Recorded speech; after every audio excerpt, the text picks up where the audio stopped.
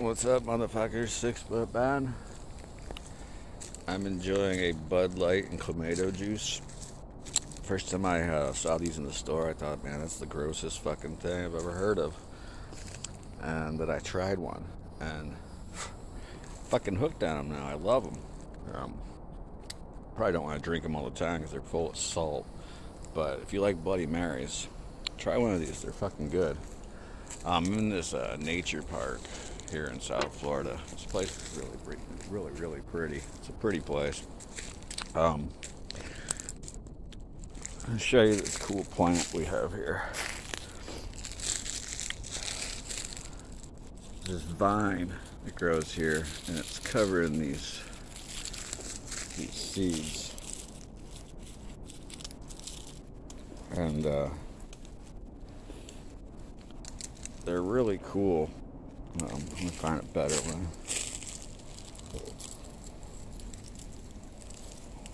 They're really cool.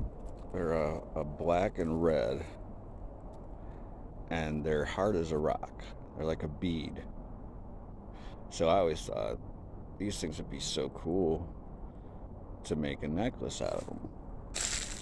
Well, luckily, before I decided to make a necklace with them, I Googled them.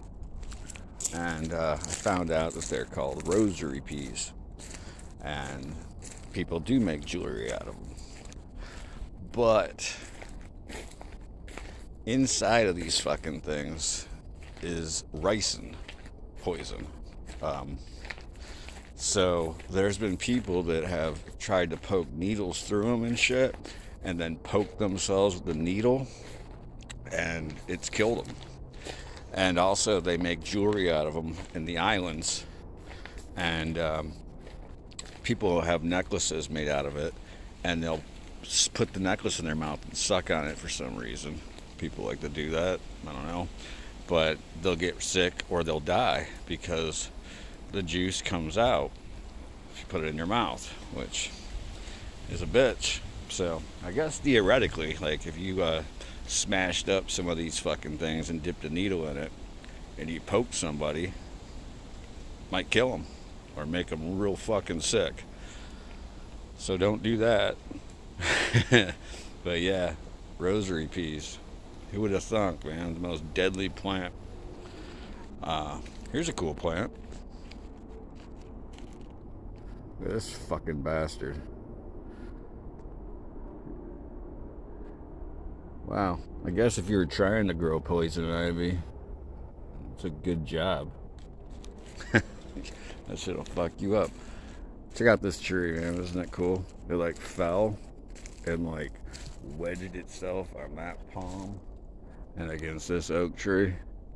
And it's been here for fucking ever. Like, for a long time. My kid likes to walk up it like a bouncing beam.